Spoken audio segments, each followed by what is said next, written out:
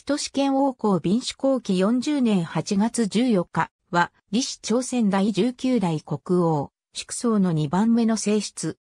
孫号、記号、死号は、高吉祝正宗順元か、異列帝、牧人志権王公。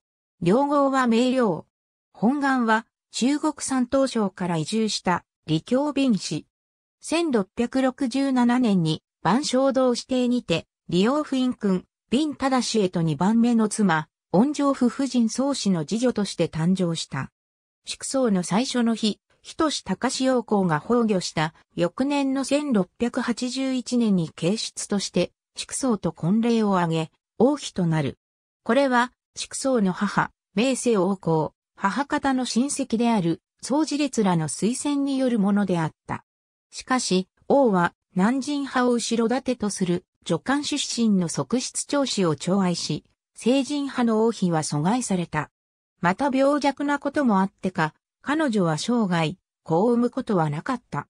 その不幸に追い打ちをかけるように、長子は王子を出産し、その子は生死に立てられ、宿美目であった長子は、将棋、さらには、品へと昇進、気品と合されることとなった。1689年に彼女は、貴賓長子と南人派の策略によって廃位され、実家に戻された。人試験王公を追い出した貴賓長子は王妃になり、牽制を振るった。廃位されて貧困生活を強いられた人試験王公は、それに耐え続けた。それは、周辺の人々の同情を集め、やがて王の心に届くこととなる。南人派に抑えつけられた成人派は、彼女の福井運動を展開。それは、かつての成人派のような南人派の増長を危惧し、南人派を牽制したい、畜生の思惑と合致した。